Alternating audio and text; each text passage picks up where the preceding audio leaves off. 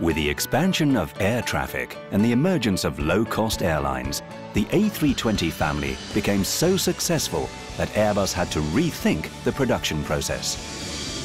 The final assembly line at Hamburg was the first to be reorganized. The results were immediate. More coherent and efficient working methods meant that delivery rates were far higher.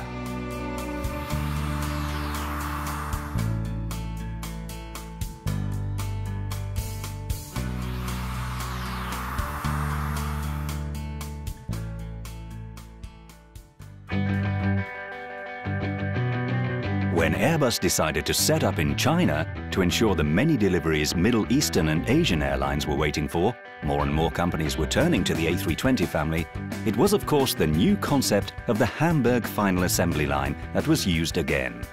The final assembly line in Tianjin is also a great opportunity for Airbus to export its industrial know-how and sense of cooperation to the other side of the world. This presence was crystallized in May 2009, when the first A320 made in China took off, followed by the first delivery a month later.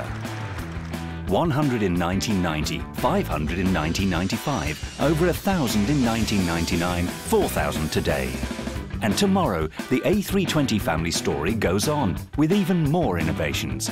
Airbus continues to believe and invest in the program, nearly 100 million euros a year, so that the A320 family can carry on giving a level of comfort, safety and performance that is still unmatched.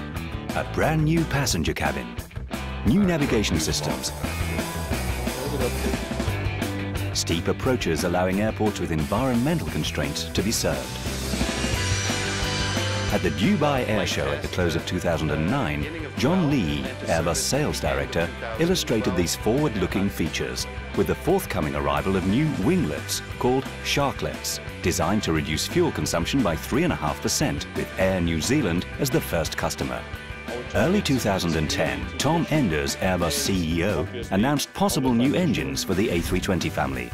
All these innovations are environmentally friendly and allow airlines, as ever, to keep on reducing operating costs.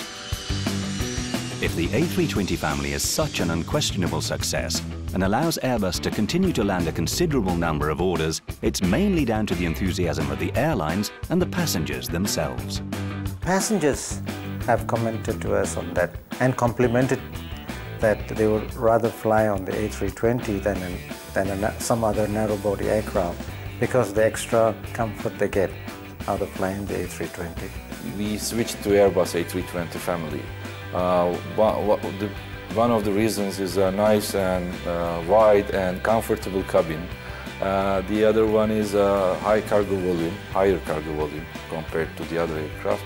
The benefit of uh, having a, a larger number of aircraft between 19 320 321 is the commonality between pilots and uh, mainly for spare parts. I like the concept of avionic concept. It's very much different from a traditional aircraft, uh, but you get used to it very, very quickly and it changes your way to fly.